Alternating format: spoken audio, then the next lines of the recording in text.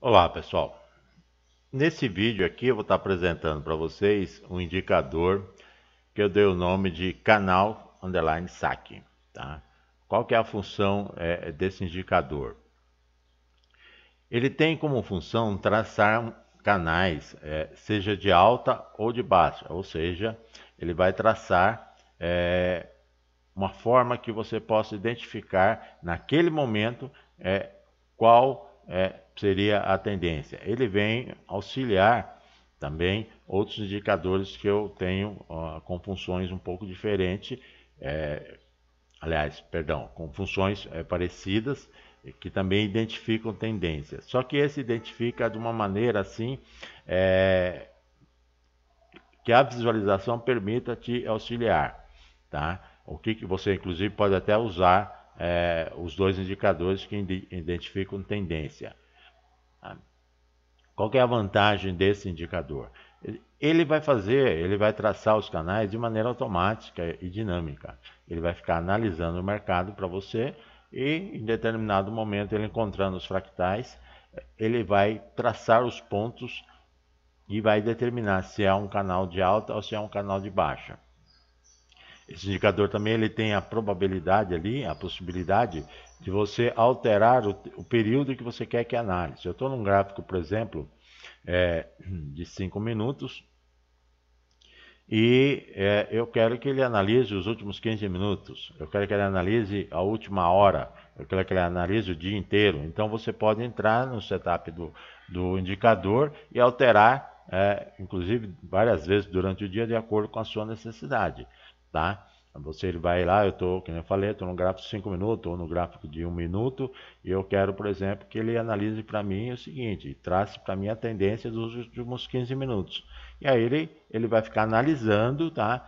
Né? Se ele não encontrar os fractais, se ele não encontrar algo que identifique, ele não vai traçar nada, ele vai ficar em branco, tá? Mas a partir do momento que ele analisando, ele vai faz a varredura dos candles, identificando os fractais, ele vai traçar né, três linhas, a linha superior do canal, a linha inferior e a linha central. E através dessas linhas você pode montar uma estratégia de operação, ok?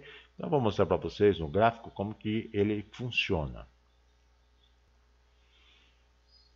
Novamente nós estamos aqui, né? Estou no gráfico do, do mini, tá? Só que é o, é o gráfico contínuo, tá, gente? É por isso que ele tem aquele símbolo lá em cima do cifrão N.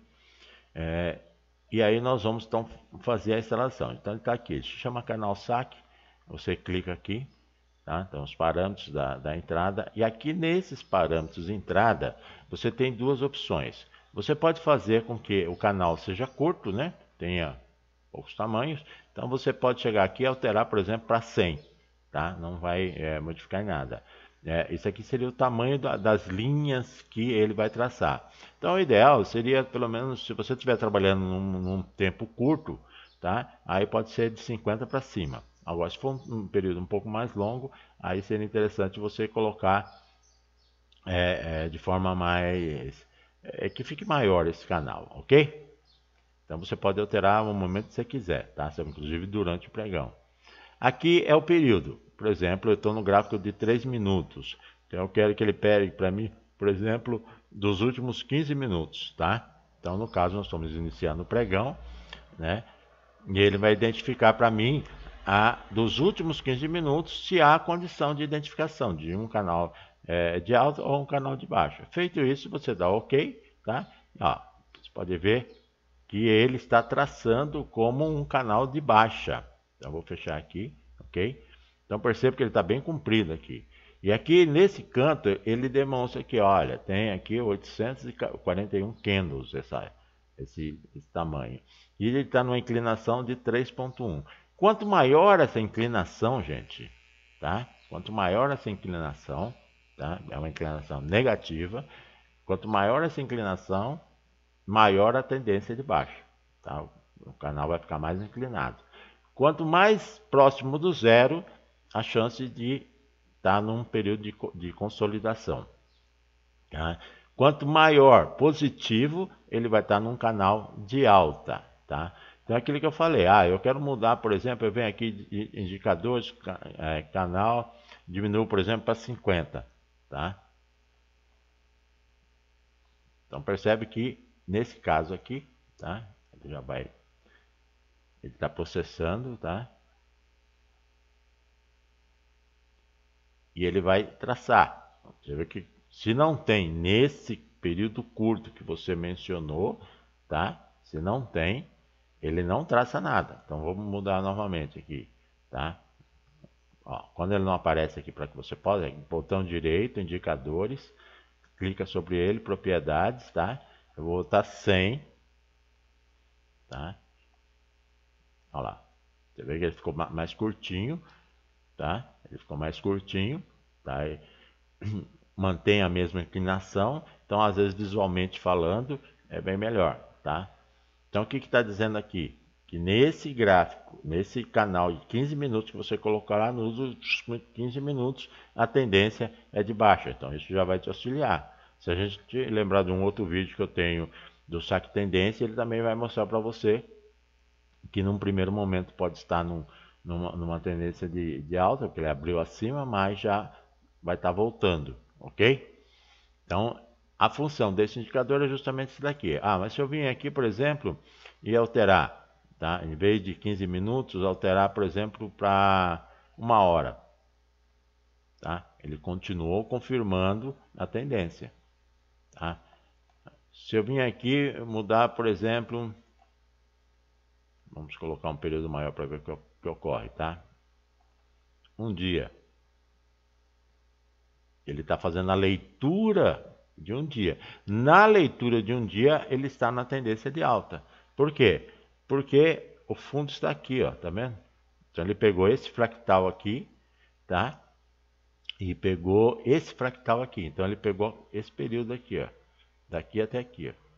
E nesse período aqui, para o diário, o mercado está numa tendência de alta, mas bem fraquinha, tá vendo? 2.9, tá? Não está tão forte assim. Então perceba, é interessante é, como que muda. Se eu, se eu mudar aqui, por exemplo, é, é, que ele vai pegar, nós estamos praticamente no início do pregão, vamos pegar aqui de, das últimas quatro horas. Nas últimas quatro horas, ele está numa tendência de baixa. Se eu pegar o diário passado, pelo diário, pelo, pelo pregão de ontem, ele está numa tendência de alta. Então, isso é interessante que você pode estar modificando de acordo com a sua necessidade. Ok, gente?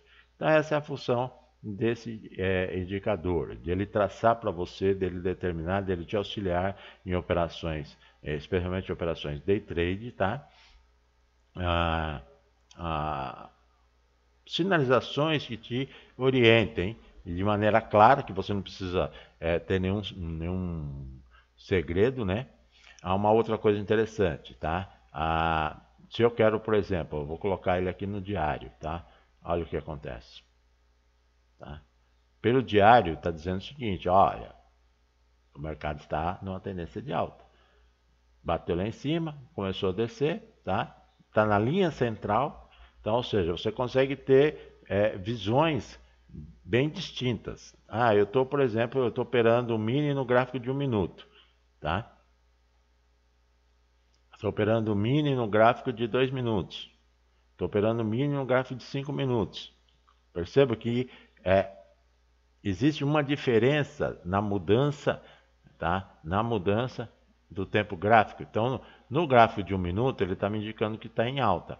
No gráfico de 15 minutos, ele está condicionado. No gráfico de 30 minutos, tá? esperar ele carregar, porque às vezes demora um pouquinho, tá? Ou ele não identificou no gráfico de 30 minutos. No gráfico de uma hora, está na tendência de alta, porque uma leve tendência, né? Porque ele está bem na, na linha inferior aqui. Então, isso aqui é importante para você ter uma visualização. Fala, pô, às vezes você quer entrar numa operação um pouco mais longa e de repente não é uma boa ideia. Especialmente se você usar um tempo gráfico mais curto, tá? Então é importante você ter uma visão é, mais curta para uma operação scalper, uma operação mais rápida, e mais buscar nos tempos gráficos maiores uma confirmação daquela tendência. Então ele simplesmente ele vai traçar para você de maneira rápida, prática, bem subjetiva. Como eu já mencionei em outros cursos, os meus indicadores custam 150 reais. Tá? Qualquer indicador meu custa 150 reais.